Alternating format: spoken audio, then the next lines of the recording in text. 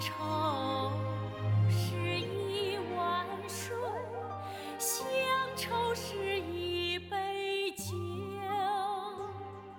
乡愁是一朵云，乡愁是一声情。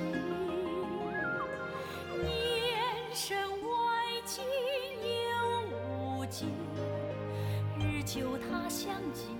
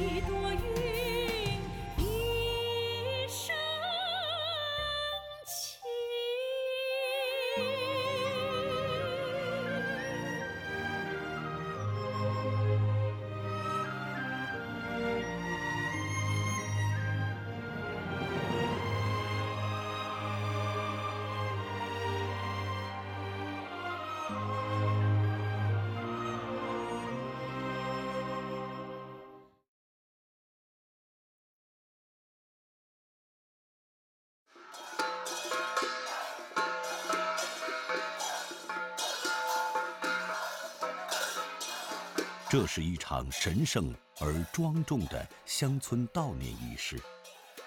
唐崖寺村的村民们正在用土家人独特的方式来祭奠一位刚刚离世的老人。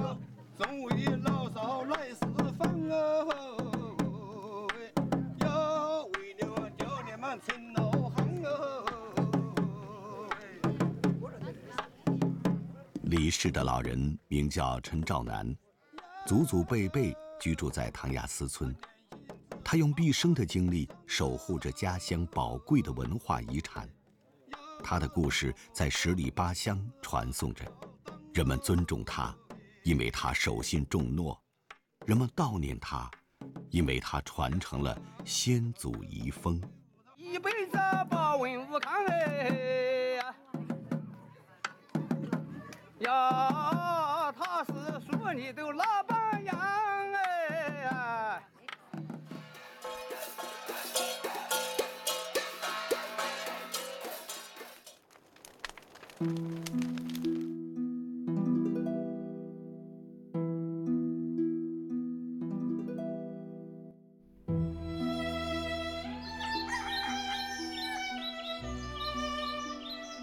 唐崖寺村。位于湖北省恩施州咸丰县境内，村民有近一千人。著名的唐崖土司城遗址就坐落在这里，距今已有六百六十多年的历史。明朝时，陈兆南的先祖被土司召为女婿，从宜昌迁来，从此世代生活在唐崖司村，祖祖辈辈都是唐崖土司城的守卫者。那个是打扫卫生啦，看管那个是什么呀？怕被被别人搞破坏呀。能够守护在这块先祖生活过的地方，对于陈兆南来说，内心充满了欣慰。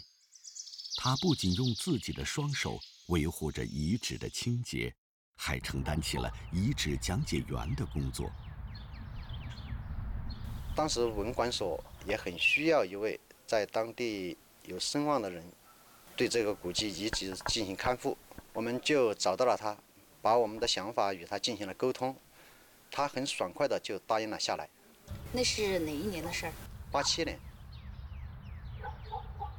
对于世代都生活在土司城里的陈兆南来说，能够名正言顺的守护先祖留下来的文物，是一份不错的工作，他毫不犹豫的就答应了下来。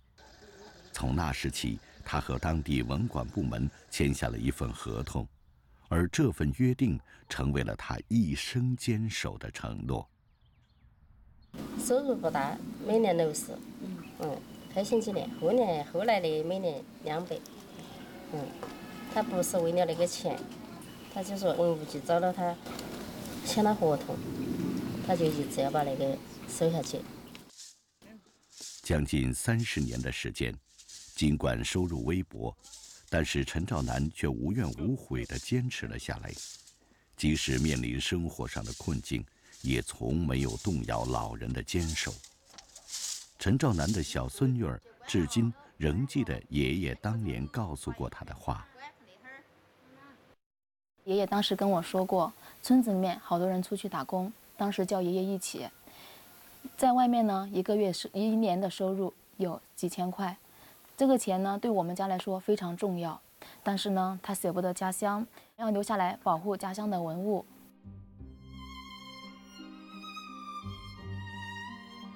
陈兆南心甘情愿地守护在家乡这片先祖留下的遗址上，他不仅见证了唐崖土司城遗址从县级到省级到国家级文物保护单位的发展，更亲历了唐崖土司城申报世界文化遗产的整个过程。世代守护的家园能有这么巨大的文化价值，为世人所知晓。这其中的意义，对他来说是金钱所无法衡量的。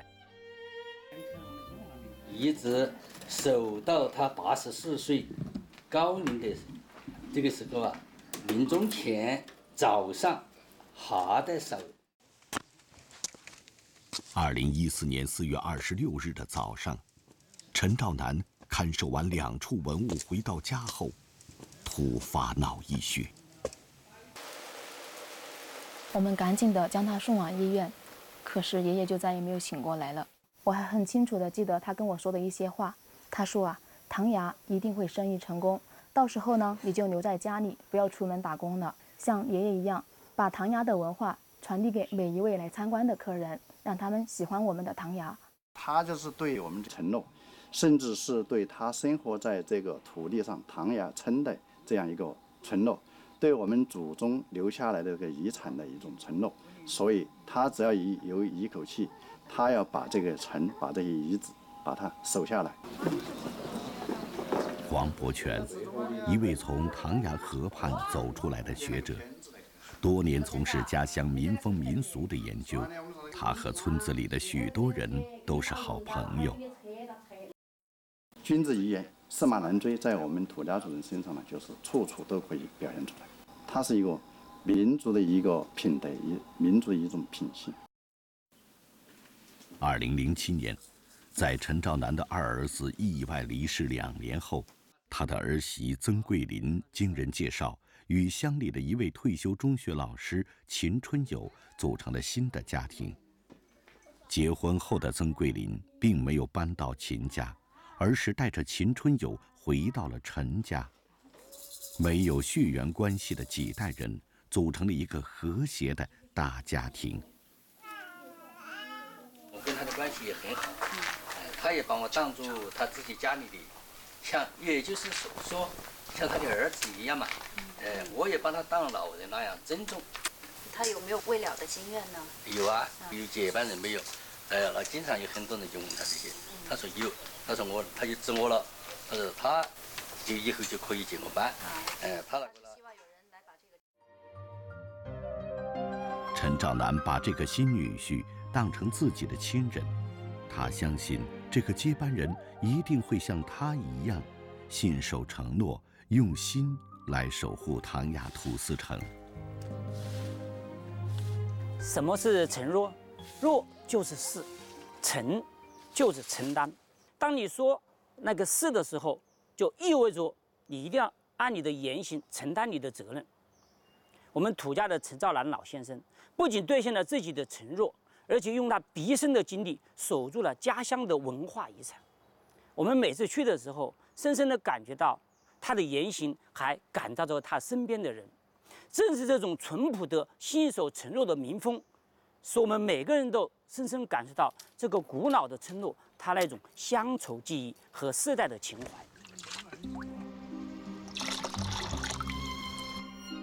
唐崖土司城规模宏大，气势恢宏，拥有三街十八巷三十六院，因山形水势，固若金汤，素有“荆南雄镇”的美誉。说起它，当地从古至今一直流传着一个让他们引以为傲的故事。一六二一年。四川永宁和贵州水西两地土司接连叛乱，这场被称为“奢安之乱”的战乱波及面广，持续时间长，震撼了当时的西南各省，使明代朝廷处于腹背受敌的境地。在平定叛乱的过程中呢，明王朝呢大量的征用了西南地区土司的军队，当时的。唐崖土司秦鼎呢，也是参与者之一。当时的唐崖土司秦鼎向明王朝承诺，不仅要维护自己辖区的安定，不参与叛乱，而且奉旨出征，参与平叛战争，在历史上留下了浓墨重彩的一笔。据《秦氏族谱》里记载，因为秦鼎一诺千金，战功卓著。明熹宗朱由校连颁四道皇令，并授书荆南雄镇楚蜀平汉八个大字，以示嘉奖。荆南雄镇牌坊呢，正是唐崖土司随调出征，哎的一个明显标志。随调出征呢，实际上也就是土司对中央王朝的一个最大的承诺。这种承诺实际上也体现了。土司对国家的认同，有利于维护国家主权和领土完整。这座矗立在唐崖司村中央的荆南雄镇牌坊，既是一代土司战功显赫的标志，也是一代土司对中央王朝最大的承诺。秦鼎是唐崖司村人的骄傲，而秦鼎的夫人田氏。同样也是村民们津津乐道的一个传奇人物。据说，田氏曾在秦鼎出征时，在唐崖河畔对夫君许下诺言：“你安心在外征战，我负责为你守家。”田氏说到做到，不仅守住了城池，唐崖土司城在他的打理下发展繁荣。达到了空前的规模。唐崖河畔矗立着的一对石人石马，不仅见证了这段传奇的历史，也成为了田氏夫人与秦鼎重诺守信的爱情见证。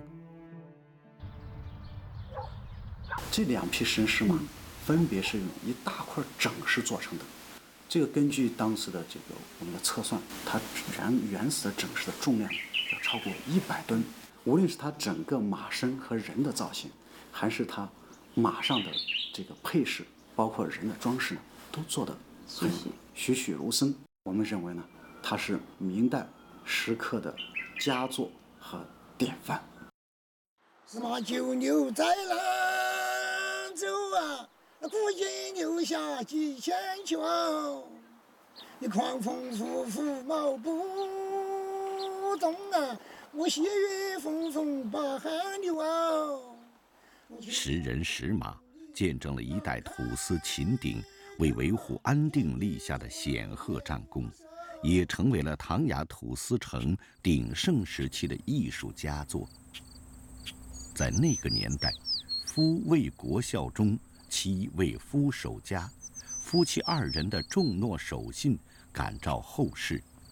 这种小家大爱的情怀，至今依然深刻影响着这个古村落，铭刻在唐崖河畔三十七万土苗儿女的内心。秦国雍，一九零一年经选拔公派出国，和当时众多出国的留学生一样。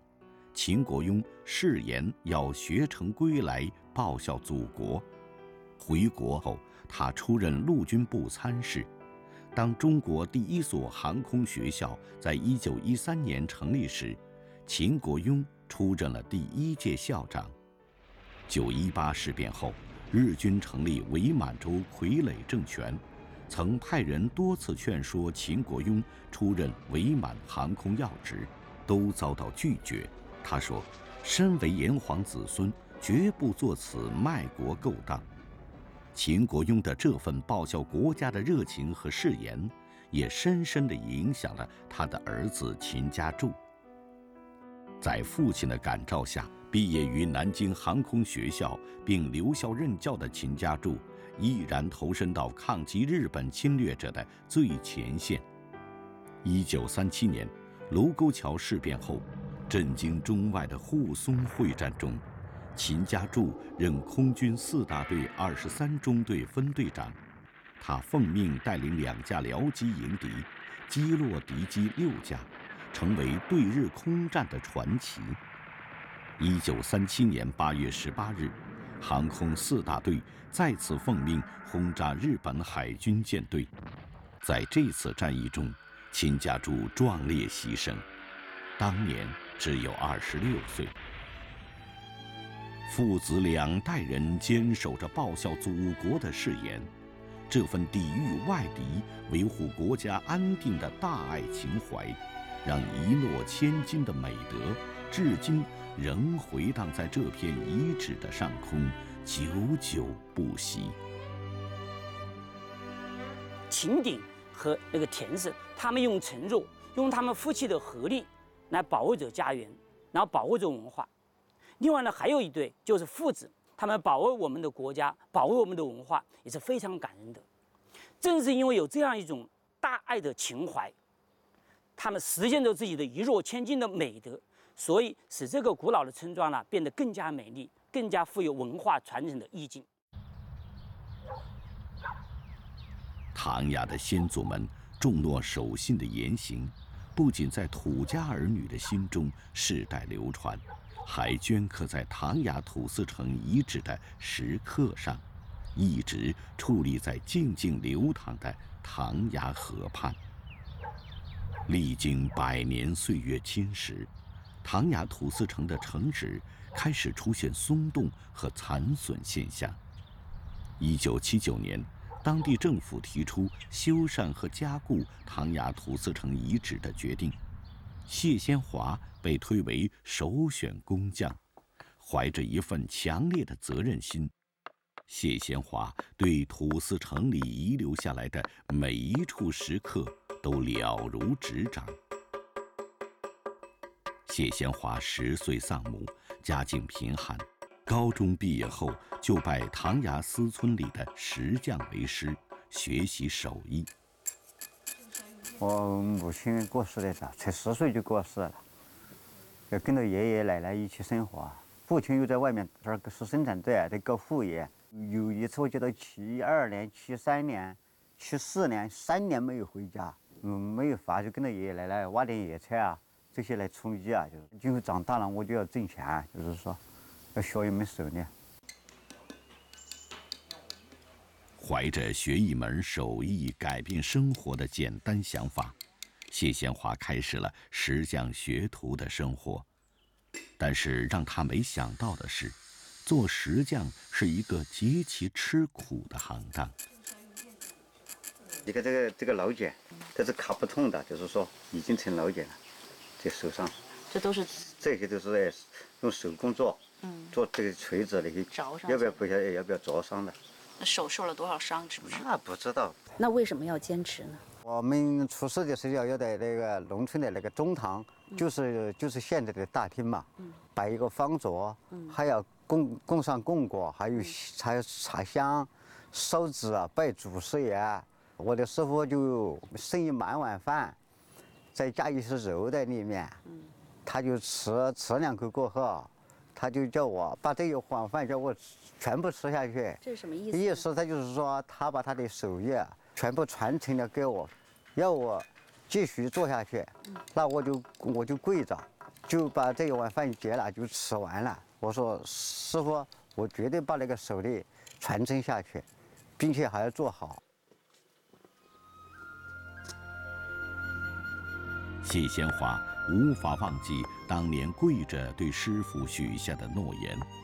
从那时起，他苦练手艺，从打猪槽到打墓碑，逐渐学做石桌、石椅、石狮子。由于潜心好学，他的手艺越来越精湛。吃得岁寒苦，守得香气来。三十多年的学习和坚守。让谢先华的手艺远近闻名，不仅生活逐渐富裕了起来，而且他也实现了对师傅的承诺，成为了湖北省石雕工艺的传承人。以前叫做民间艺人，现在我们叫做传承人。那么这些人实际上他对这种民间文化，包括民间工艺，他是有一有一种的这个，呃。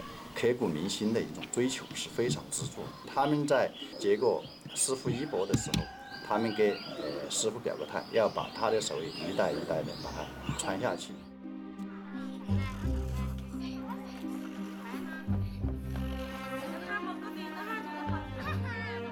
千百年来，唐崖寺村的村民在这片土地上繁衍生息着。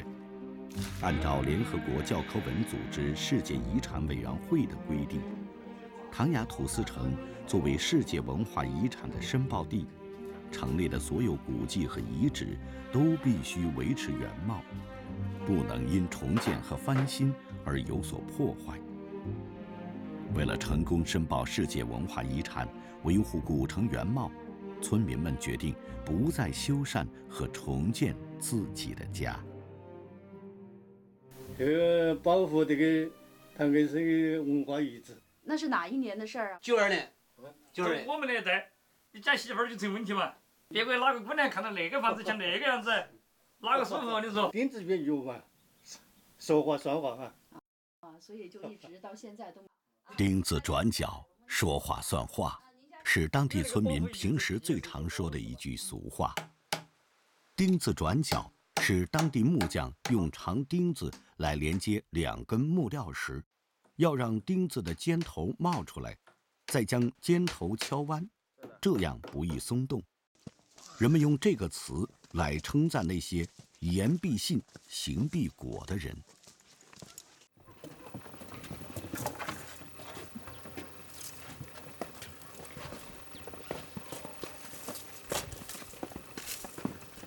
秦国安每天早上起来的第一件事，就是去看守自家的祖墓。作为唐崖土司的第二十三代嫡孙，秦国安从幼年起就时常跟随爷爷和父亲来祖墓清扫祭拜。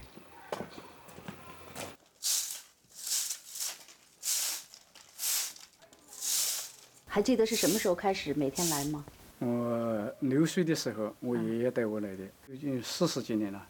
我们世世代代都要守这种墓。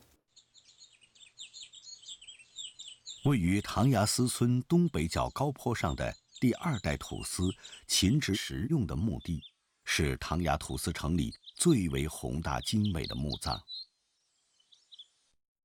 瑶族地区呢，嗯有一种习俗，哎，就是把祖先呢埋在自己堂屋的后面。堂屋的神龛呢，实际上就是祖先的墓碑。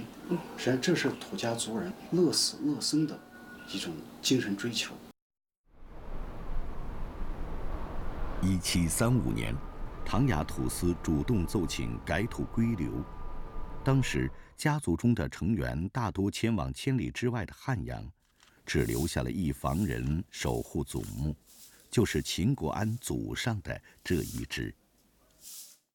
为了配合世界文化遗产的申报，村民们都要搬出遗址区，住进新房。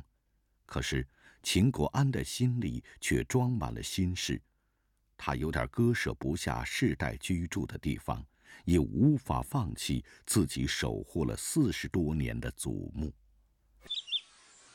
希望呢还能够留下来，呃，看他们的祖坟。呃，我后来把。这个事情给我们的领导做了汇报，同意了他这个要求。有了这份承诺，秦国安的心里踏实了。搬家前，他又带着儿子来到了祖墓。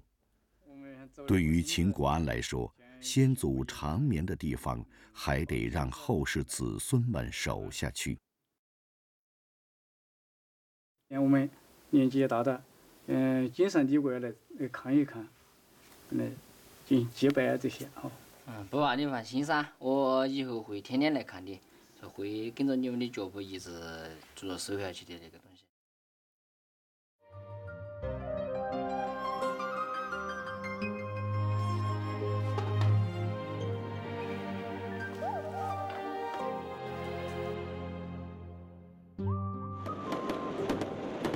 零一五年七月四日，德国波恩传来好消息，在第三十九届世界遗产大会上，湖北唐崖土司城遗址成功列入世界文化遗产名录。从上世纪九十年代到这一刻，唐崖寺村人不动不休的承诺，终于有了回应与结果。整个村庄陷入了一片欢腾。从祖祖辈辈居住的吊脚楼，搬进钢筋水泥的楼房；从种地为生到朝九晚五的工作，村民们的现实生活正在发生着极大的变化。这里交通方便，买东西也方便，整个环境也好，是不是？房子也比较有宽的，你看这里景色又好，是不是？哇，这就是唐崖河吗？是啊。据考证啊，这座庙是唐崖土司城的。陈兆南的孙女儿陈飞终于继承了爷爷的遗愿，成为唐崖土司城的一名讲解员。谢先华继续受聘，用他扎实的手艺。维护着唐崖土司城的每一处文物。秦国安成为了唐崖土司城的一名保安，可以安心的继续守护他家的祖墓。今天，无论走到哪里，唐崖司村的村民们依然是这片土地上的儿女，他们将祖先一诺千金的美德世代相传。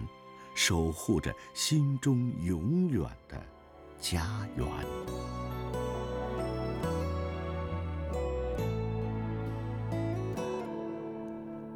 远远的那个地方，是心挂念的故乡，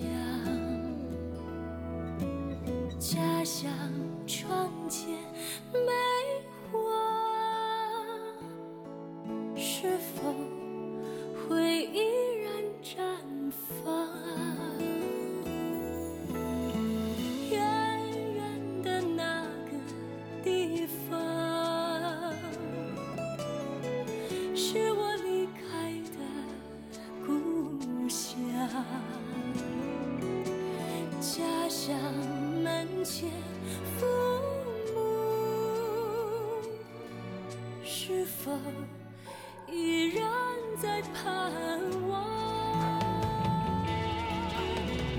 亲爱的，亲爱的家乡，你是世上最美的。